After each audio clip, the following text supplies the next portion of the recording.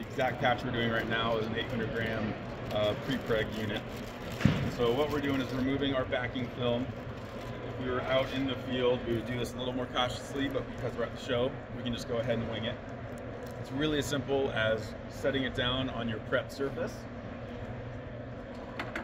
grabbing a simple little roller. We're leaving our UV blocking film on top for this section, but as you'll see, when you start to actually compress and remove that air, you have a really nice difference uh, between the, the color of your part. So you know you're getting good consolidation when you're not seeing any of that air in between the parts.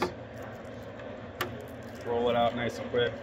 We're gonna be sure that when we're removing, there's a clear film underneath here as well. So as we're building up more and more layers, we're gonna remove both sets of films. Very much. Go. So these laminate, these uh, pre-pregs are guaranteed for uh, 12 months. Room temperature storage, no refrigeration, nothing needed. And as long as you keep it from UV, you basically have an infinite working time until you turn on the light. Correct. So we can go ahead and throw on our second layer here, and we'll do the same kind of motion. Working from the middle out will allow you to create a really nice, uh, seamless uh, resin section between the two layers, so there's no, not going to be any air voids going that direction.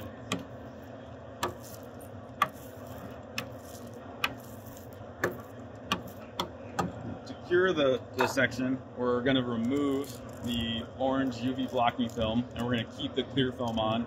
Usually helps just to hold one section at a time because there's a light spray adhesive between the two films. That way when you're working outside, wind pops up, it's not just going to remove and prematurely expose your part. We're going to leave the clear film on because it's going to create a tack-free glossy surface. If you were going to build multiple layers on top, you could actually remove that, cure it. It'll have a little oxygen inhibition. That way when you put your next piece on, uh, you get an even better bond back to your back to your surface. And So with respect to curing, this two-layer component will be fully cured in about two minutes. So I'll go ahead and we'll flip on this prototype blanket that we brought to the show. And so it's really as simple as letting it go. And uh. Thank you very much. As Gerhard mentioned, these all have a 12-month guaranteed shelf life. Uh, the reality is they'll last much longer than that as long as you keep them in the UV uh, opaque area and in their original vacuum sealed pouches. Fantastic. We'll go ahead, we'll pull off the blanket pull off our uh, you're doing pull great. off our clear film, and we have a tack-free, hard, slight exotherm. It's warm. Uh, but that's as simple as it is.